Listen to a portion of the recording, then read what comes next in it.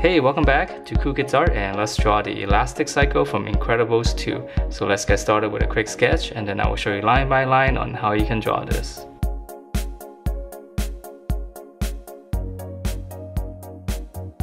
Alright, so let's draw this and this one's a little bit tricky but we take it step by step. So the first thing we're gonna draw is the seat portion of the motorcycle first. So we're going to draw one line and then here is the actual seat so we're just gonna curve down and just kind of scoop it back up. Okay so once you have that we can for the bottom here we just draw one line across. And then as we get around here we're just gonna curve it all the way up. So we're just drawing the seat cushion here. And then we'll close that off. Okay and then from here we can draw in the back. So we're gonna on the back here we're just gonna extend this and then here we're just gonna extend it straight across. And then to end it we're just gonna curve it up and just close it off. All right and let's see let's add in some detail here on the seat cushion. We just add in some lines. Just go all the way across. And then as you get to here just kind of rotate it a little bit just turn it a little bit Okay, and then from here, let's draw in just a little bit of detail here. So we're gonna extend this line here. And then we're gonna curve it up, go back to the seat. Okay, so now let's draw the front. So this one's a little bit trickier. So we're gonna continue this curve. Just kind of go up. And then we're gonna slant down. And then we're gonna curve it back here. So we're just gonna come down and then just kind of stop around there. And then this part's a little bit easier now. So we're just drawing the light. So we're just gonna draw one big curve like that. And then we can add in a line just to divide it back up. And then here's the little bit of detail here. We're gonna come up, come down.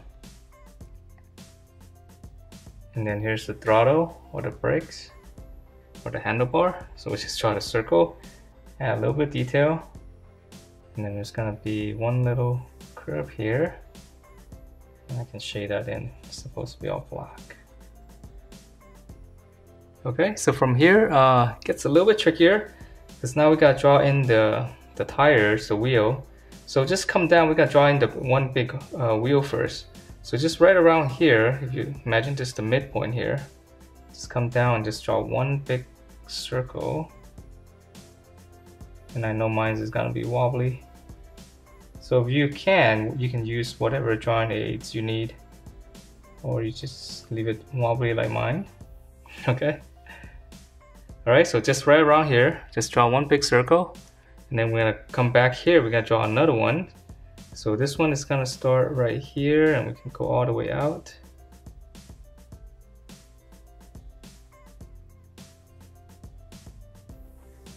So it's almost the same size. I think the rear wheel is a little bit bigger, but you can draw it the same size. Okay, same size as that one. Alright, so once you have this two big wheel, let's add in some detail. So we're gonna draw in, this one's a little bit easier now. Just gonna draw in another one.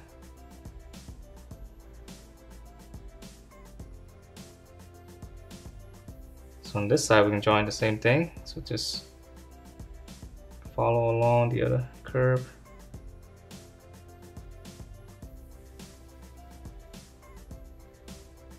Okay, and then we gotta draw one more in here. So just try to envision know the center of the circles here. Just draw another one. And then same thing here.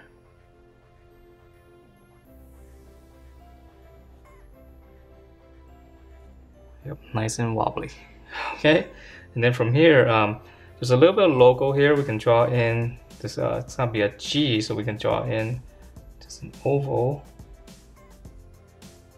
an oval shape. So from here, here's the center. So we're gonna draw kind of like a half circle. And then we just kind of point it all the way up here. So you can start up here if you want, just go all the way down.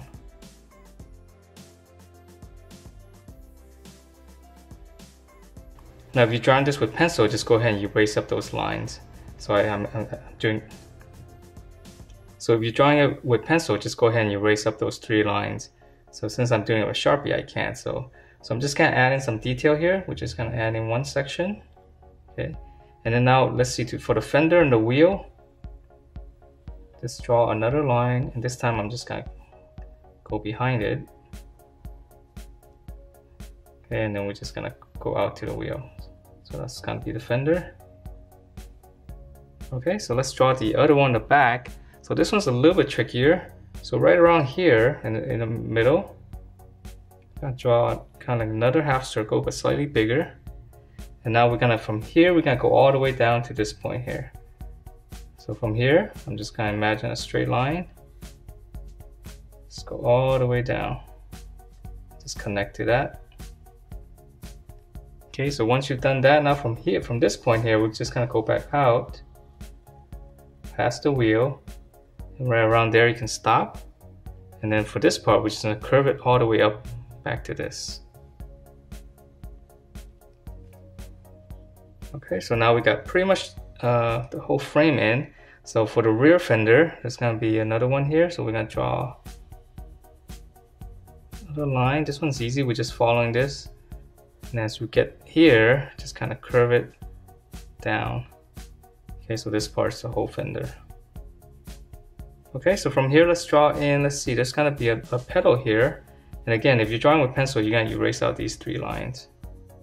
Okay, so I'm gonna draw in the pedal now. Just an oval shape. And then there's another shape in here, so I'll just draw another oval. So yeah, just erase a lot of lines. So it's kind of messy, right, for me, because I'm drawing with Sharpie. So now let's draw in the logo here. So this one's a little bit easier. We just gonna draw, let's go ahead and draw another oval inside. And then we're gonna draw one more. You can go all the way around. And then we're gonna draw a line up, two lines across. Two line here. And then for this one, just draw a line like that. So then you got to erase out these two lines right here, this one, this one, and that one. Okay, so it's a little bit tricky, but this way is a little bit easier to draw. All right, so then lastly for the uh, spokes on the wheel, so this one's easy. We just kind of radiate a bunch of lines. So we're just gonna draw in, just try to space it out if you can. If not, it's okay. Just as long as it's coming from the center. Okay, and then on the back as well. I think my rear wheel, wheel is kind of wobbly.